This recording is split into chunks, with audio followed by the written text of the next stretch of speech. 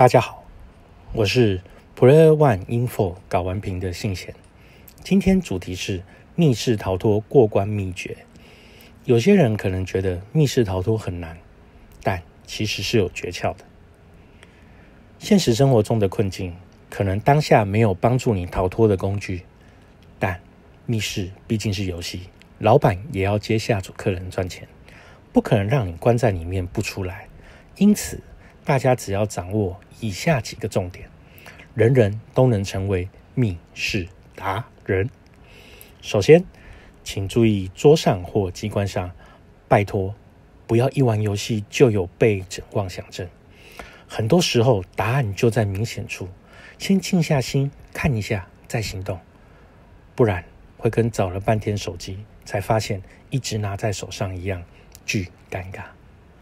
二，能开的。就不放过，这不用教了吧？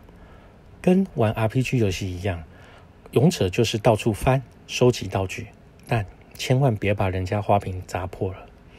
三，能翻的、能摸的就不放过。画的背面粘在桌下都是基本套路，但壁纸后面不会有，别心急，连人家的壁纸都撕了。另外，怕脏的伙伴记得带湿纸巾。摸完好擦手。四，倒着念或直着念，遇到念起来怪怪的文字，试着反过来或找长头诗看看。不过这招比较不实用，因为很多人只是文笔差，没特别含义。五，观察陪观人员表情，这是最终大绝，不是要你跟他问答案，而是改把密室逃脱当心理游戏玩。你必须了解陪观人员身负控制时间的重任，不然会被老板和下一组客人电报。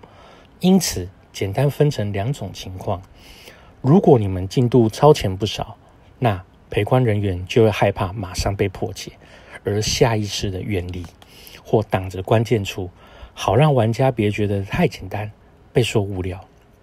反过来，如果进度落后太多，陪观人员就会想办法有技巧的暗示关键处，通常就是站在附近，或说些东西来吸引你注意。这时千万要注意听，相信掌握这五大技巧，下次密室逃脱就不会通不了关了。如果你喜欢这段内容，请留言或按赞，让我们知道。在 Player One Info 搞完屏，我们收集了很多有趣好玩。的密室逃脱等着你来探险，欢迎您有空来玩，我们下次见喽。